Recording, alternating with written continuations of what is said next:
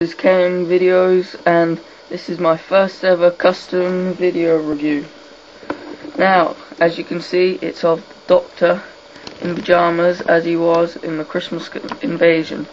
Now this was a very simple figure to make. All I done was got one of these and as you can see just painted the coat blue and painted his suit white and so yeah, very easy to make. And it actually looks very good as well.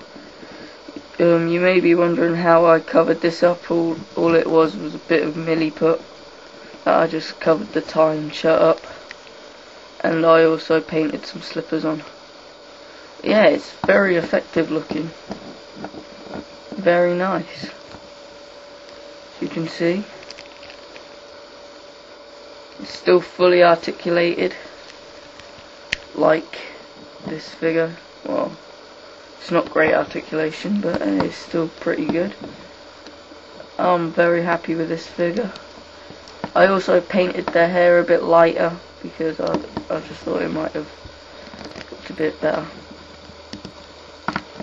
So yeah, very easy. I know I know someday I'm gonna have to paint all this in because if I'm doing that like I am now, looks quite bad. But like this it looks fine.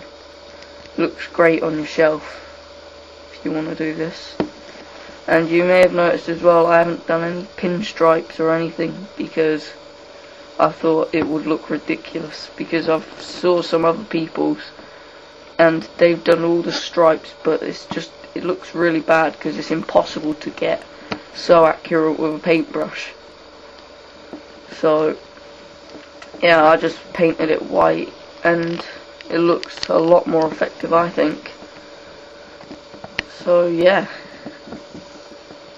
Uh, I think it looks really good.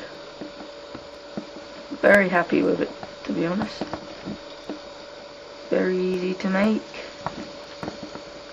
So yeah.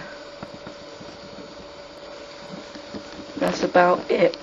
And well next time I don't know what I'm going to review I might review the Mickey I've made, or the Vizsla or even the Master by Anthony Ainley. I'm not sure, but hey,